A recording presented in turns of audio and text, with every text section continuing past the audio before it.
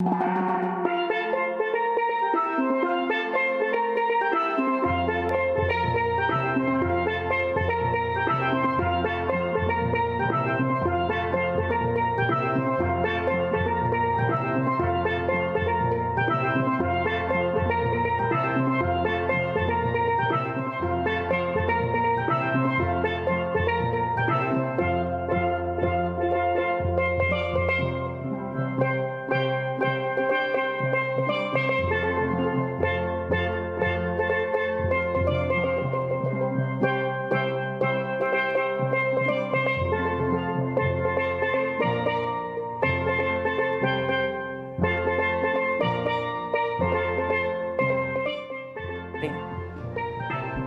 Televidente, danke a pakete conosco. Esse aqui é o segmento de Caribbean Update para o que trata de Eri Awe. Anto bosso saco durante Caribbean Update nós donamos diferente informação sobre Sali, of um topic durante de esse mang ding área de Caribe, nós vai Latinoamérica, nós vai Merca, hasta timia nós vai Europa, que basta que você é algo interessante para nós na área de Caribe. Então, sabay sige ang maneira si mampasa uh, riba informação de Venezuela. Aí na Venezuela, si mampasa Jamars, o governo de Venezuela na arrestar seis executivos uh, de companhia de petróleo Citgo, que está na Venezuela. Uh, nós temos visto que o Citgo é uma companhia que está uh, basada na América, pero é uma pessoa na aqui, uh, não está um, na aya na Venezuela com cinco de nang nacionalidade americano. Gobyerno di Nicolás Maduro tabiso ko esaki ta den koneksyon ku kaso nan di korupsyon e labamento di plaka ku nan investigando fo di agosto di aia aqui. Esaki tem de haver com suposto refinanciamento di un debe fictício eh, di Citgo. Si tratta di un contratto con una firma nel giugno 2017 con Frontier Management Group di Dubai e Apollo Management di Merca Asa tem um intermediário uh, um, suíça uh, aya den e três três trias aqui uh, comunicar com o governo de Venezuela e nós vamos ter na conta que o Setgo é um filial de PDVSA na terra fina essa aqui uh, apreciar o seguinte reportagem de Telesur. detalle en este informe que hemos preparado por ustedes. La cruzada anticorrupción del Ministerio Público sigue dando frutos y los detenidos por el caso Citgo siguen tras las recas por su relación con un contrato de refinanciamiento de deuda con fondos buitres por una suma de hasta 4 mil millones de dólares, firmado en condiciones desfavorables para PDVSA, pero que le hubiera permitido ganar una comisión del 1,5%, unos 60 millones de dólares. Y lo más grave, ofreciendo como garantía nada más y nada menos que la propia filial Citgo. Como ustedes entenderán, nada más y nada menos con este breve y apretado resumen, aquí se estaba comprometiendo nada más y nada menos que no solamente el futuro destino de nuestra filial, sino el patrimonio de la República Bolivariana de Venezuela. Gobierno y constituyente afirman que esos directivos actuaban como facilitadores de la presión financiera internacional contra Venezuela. Para favorecer y financiar, además, el pueblo de Venezuela debe saberlo, a factores opositores.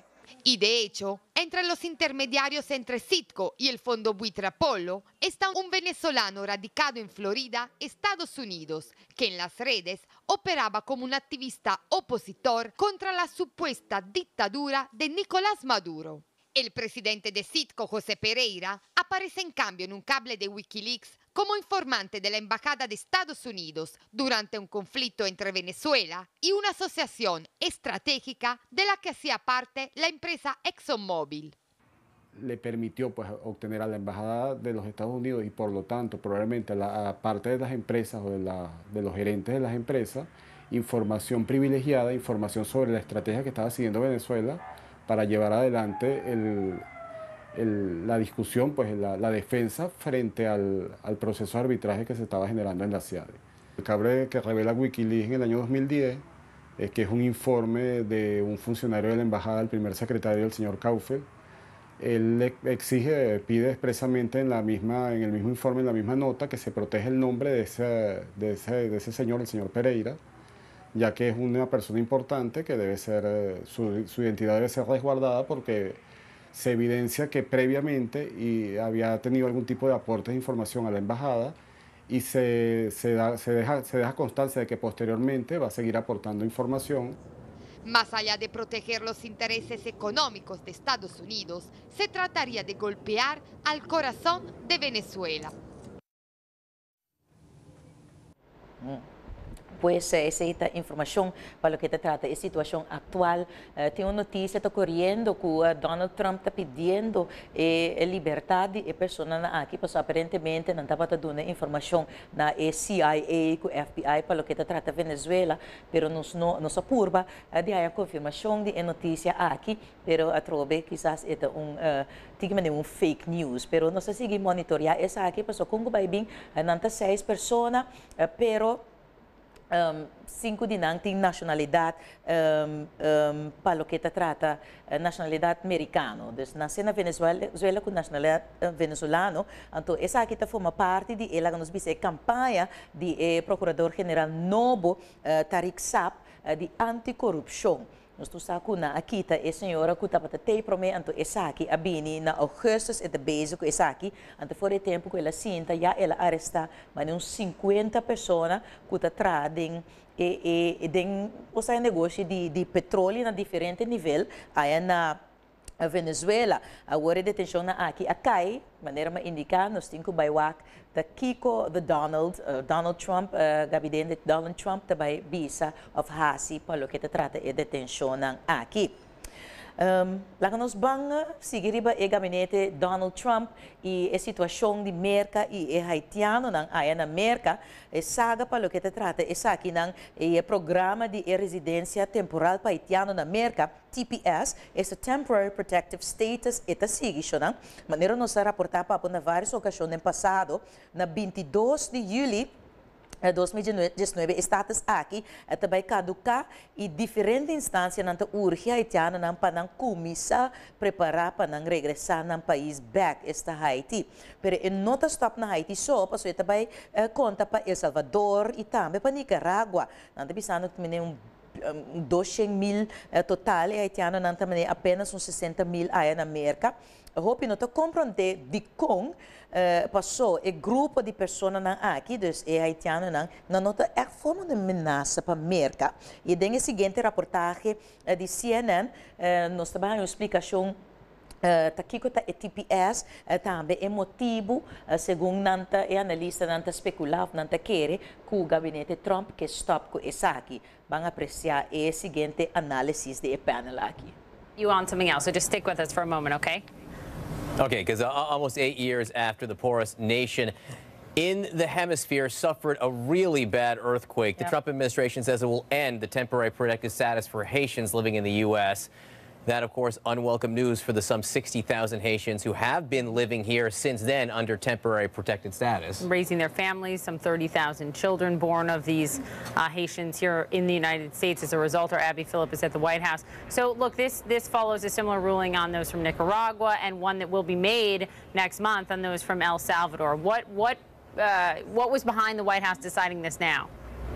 Well, these are really difficult decisions. Um, as you mentioned, many of these people have been living in this country, uh, in the case of Haitians, for about eight years now, but in other cases for, for decades. And the White House has been trying to resolve some of these issues. And this process for the Haitians began over the summer when uh, now White House Chief of Staff John Kelly was leading up the Department of Homeland Security. He extended their status for another six months, which is a shorter than normal period, leaving it up to Acting Secretary Elaine Duke to make a final decision. And her decision is essentially that, that Haitians need to either find another form of status to remain legally in the United States or go home uh, by next July. Uh, for Haitians here in the United States, it's a really tough call.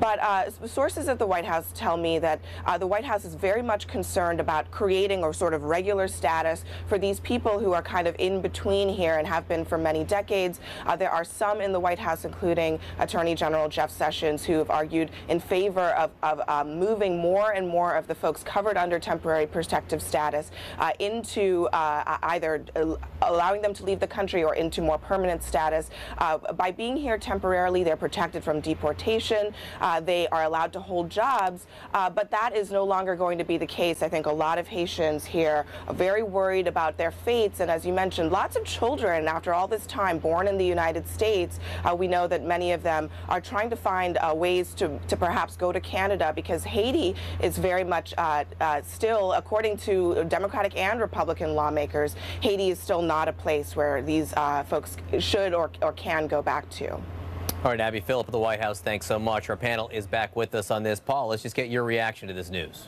Well, you wonder why they did it, right? It, it, it's clearly not because of security. There's no threat from Haitians. And of course, refugees and other immigrants have a lower crime rate than those of us who are born in America. Uh, it can't be because of jobs. It's only 59,000 people. And the unemployment rate is at a 17 year low. Thanks, Barack Obama. Uh, it's got to be something else. Gee, I wonder what it is. It's politics. This president has not done anything, frankly, to help those folks who helped him sneak through the Electoral College and get in. So, what he's going to do, instead of helping the people who elected him, he's going to try to hurt people who don't look like those who elected him. And, and I think it's a really low moment. This, this country really was built by people like those Haitian immigrants who came here seeking the American dream, came here seeking freedom. In this case, came here just seeking a, a chance to live. Uh, and, and if they, we send them back to this country, uh, their prospects are not very good. Haiti is mm -hmm. still badly, badly damaged. To, okay, to be fair, uh, Alice Stewart, these, these Haitians, 59,000 of them, came to this country under the Obama administration under something called temporary protective status. It was never permanent. To Paul's point, he says this is about hurting people that don't that aren't that aren't white that you know that don't look like uh, look like many Americans. Do you see it that way? Well, Papa, you said the key word, temporary. This was always meant to be temporary. It wasn't a, a long-term strategy. And, and, look, this was made after careful consideration with Haitian officials to make sure that they were able to bring these people back uh, into their country. And I think it's important for us to make sure that this stays as it was intended, temporary, and never to be long-term. And they, they have taken into consideration the difficulties of it. They've extended it for 18 months to help ease the transition. I think it's important important that they do that and return these people back to their homeland and do it in a way that is thoughtful and considerate for all their needs. Lynn, it certainly fits a pattern when it comes to refugees, immigrants, legal and illegal, doesn't it? Mm -hmm. It absolutely does. And one other byproduct of this, this also now intersects with the big debate over what really will happen with Dreamers. Those are the youths already in the United States illegally through no fault of their own. Mm. As mentioned now, these Haitians who were here temporarily have had children while they were here, and I believe you could consider those kids almost a new class of people because they will have little or no ties to the country that they may be sent mm -hmm. back to. So I would think whatever happens with Dreamers may happen to them. And again, a similar decision expected to be made very shortly on, you know, the biggest group of these under temporary protected status, which is those from El Salvador, 200,000 in this country right now. Thank you all very much, Paul Begala, Alice Stewart, Lynn Sweet. Could President Trump's... Yeah. Nós temos diferente um, análises, uh, quizás hasta algo político. Um, o gabinete Trump não te gusta pessoa que não parcento, já é não uh, bota baiando ribe assunto de, de, de raça, etc. Uh, tem também que não porque da pessoa não está afetando a economia americana, já está ajudando a pessoa pedir pessoa aqui através de eh, foi de 2010 quando está 2010 uh, quando está na América na criar família, não aportar uh, na economia de, eh, de merca de Estado, uh, não está. Uh, dus tem diferente um, ângulo que um, está analisar a situação aqui, pero isso está que está causando um pânico uh, imenso aí na América, boa de um, uh, comunidade haitiana em diferente área, especialmente onde não mais grande, uh, que é mais grande na New York, é of quizás es un más grande está na Florida e dos está na New York anto lago nos wa situación ta aya na little um uh, little Haiti na Florida When Haiti was hit by a devastating earthquake in 2010, thousands left for the US and were offered temporary protected status. Over the decades, the program's helped almost half a million people from nations ravaged by natural disasters and war. For years, it's been extended by presidential decree, and has allowed recipients to legally live and work in the United States. To deport them to a place where you know they will not be safe. In the case of Haiti, it doesn't make any sense to me. Marlene Bastian says removing the special status will have devastating consequences. It will wreck their lives. It will, it will destabilize their families. It will separate their families. Because we are talking about people who have been living here for an average of 8 to 30 years. They have deep roots in our communities. Those roots are found across the country. Many of those granted protection have US born children who may be forced to leave with their parents. I imagine they can't even sleep. To see all your dreams crumble, your efforts, to have a home in this country and to have to leave, it's inhumane. Others like Jardine say going back after so many years isn't safe or practical. I lost my house in Haiti. 2010, I lost my house. I don't have nothing in Haiti. When I go to Haiti, I don't have a place to stay and my, and my two children born here. Ending the protected status of long established communities is seen by advocates as cruel and unnecessary. Fears over deportation has already led to an influx of Haitians seeking asylum in Canada, at times overwhelming local authorities. For years, those benefiting from temporary protected status have been referred to as living in limbo. But in truth, they've established businesses, started families, and become valued members of their communities. Those who've now lost their status face the prospect of being sent back to countries they no longer think of as home. Andy Gallagher, Al Jazeera, Little Haiti, Miami. Pues essa é a situação update de Al Jazeera, tem uma situação hopi uh, vervelo uh, de verdade, então ojalá que o gabinete Trump põe mão no coração, o com e por extender essa aqui passou de verdade, Haiti não tem nenhuma posição de receber a quantidade de pessoas aqui que tem que buy back, então de mês botam mama, botam boiu a família e uma nancy na América, e a bono polaga não queda não só aia, não também lo tem que buy E nós seguimos com mais informe. Já sabe, último estava Dia Internacional para Eliminar Violência contra a Mulher e um relatório sale na Panamá já viernes último chama Commitment to Action Policies to Eradicate Violence Against Women in Latin America and in the Caribbean. O relatório aqui está indicando que aunque vários países introduzir legislação para proteger a mulher contra a violência e que a legislação a subir de 24% na 2013 para 31% na 2016, ainda a área aqui tem roupa acto de violência contra a mulher. Essa aqui está tanto dentro da relação de pareja como para fora da relação. Para cada cinco actos de violência contra a mulher, 12 não está resultado em um homicídio. 30% de essa aqui não está uma vítima de violência de não pareja, 10,7% da vítima de violência sexual não relacionada com não pareja, nós pensa em um, violação de rape. O report a seguir indica que se que frena essa aqui, isso aqui mestre vai riba nível mais alto de política. E segundo o diretor do Programa de Desenvolvimento de Nações Unidas, Richard Barath, se um país que tem desenvolvimento duradouro, não mestre para que na situação e a cifra na aqui passou um fenômeno social que afeta a mulher, família e a comunidade que é necessário para lograr paz social, produtividade econômica e justiça para um itur. E já domingo último, uh, Miss South Africa a ganador, a sali ganador de Miss Universe Pageant, pero que remissionan turbo tapa riba Miss Jamaica, Javina Bennett com su afro. Uh, su look no tradicional a sobresalir riba tour e outro candidato, não, uh, quedando den e top 3 de a noite. E, Então, mirando que a ainda hopi gente, uh, hopi gente mue, uh, ta recebi um, diferente crítica uh, para o que está tratando ng cabay ng um, natural, Miss Jamaica estava arriba um uh, missão de inclusão.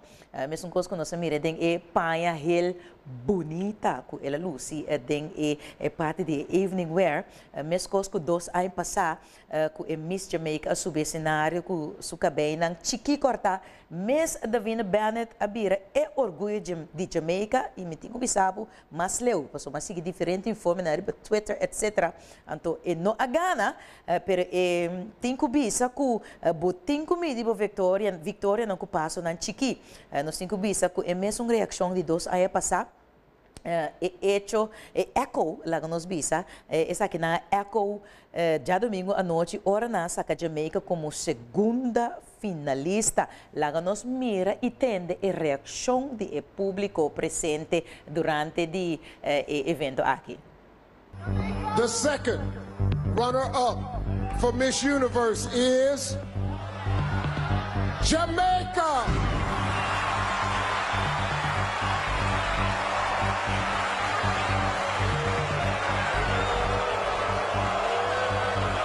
Congratulations, Jamaica. Only two women remain, Colombia and South Africa. Yeah, pues, uh, may man um flashback? Di dos anos passar ora na saca uh, Miss Jamaica. Na di quatro uh, lugar dos anos passar uh, então uh, mesmo a suceder uh, já domingo último nós digo pensa é Miss Jamaica di dos anos passar me um caminho com ela casa. Uh, neto um par de luna depois com ela um sali for di uh, o mundo de pageantry aqui. Então, mês de Jamaica aqui, uh, Davina uh, Bennett, ela manda um danke mais grande uh, para o que te trata e supporters ng uh, ela bisa verdade que ela logra e meta lo que ela bem pahasi esta inclusão. Não posso, ito um, um muito de 21 21 22 anos, que esta traco gente que está surdo, então haya que tur gente me se guardo incluir a den nos uh, sociedade. Então, ela bisa que ela raise awareness para o que está tratando não kuno potente, está bem está sim, um, a sign language cultura cena, então para ele está somente contento, uh, orgulhoso uh, na e placement que ela ganha como segunda finalista, ela saiu de três, então, um, yeah, é bunang, You can't win them all. Uh, pero itong uh, juffrouw ko ta mas bonita mes di padeng ipafo anto ela manda su pabieng tambe pa Miss uh, South Africa ko a resulta dita Miss Universo uh, 2017 mi tinko biso ko hasta um companhia ko chama Carol's Daughter uh, ko ta atende ko hene ko kabeti na kabay natural e tambe amado um tweet DJ das porta eta bira e face nobody Carol's Daughter bueno sa nunca. This good job Jamaica, anto you did the Caribbean proud ku e posisyon di segunda finalista. E den uh, parte final aqui, uh, nós temos bem back pa um grupo ku ah si nós aqui no so proud também, uh, den Caribbean update, den new day, nós lagabo ku nós orgulho de Corso, ya pa 35 anos acaba grupo Isoko, maneira dona bisa den gran forma den a celebração de 35 anos Isoko 35 years later. Então, o que nós lagabo com esta uninang apresentação ng último uh, si Pasaribo um barco aqui de nós do Shihaf de Corsou. Uh, nós lagabo com Isoko 35 years later e nós apisa te outro simang ng outro Caribbean update.